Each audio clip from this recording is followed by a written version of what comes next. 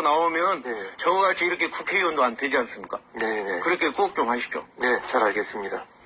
죄를 짓도록 유혹한 자들뿐만 아니라 그 유혹에 넘어가서 죄를 지은 자들 또한 엄중히 처벌받아야 마땅할 것입니다. 국민 여러분, 지켜봐 주십시오. 감사합니다. 절대 거기서 나오지 말았어야지. 나오면 내가 죽인다는 거 몰랐어? 세상에 나와서 알리고 싶었어.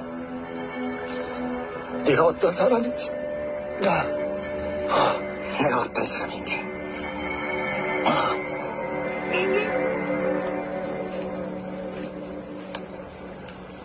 또 듣는다.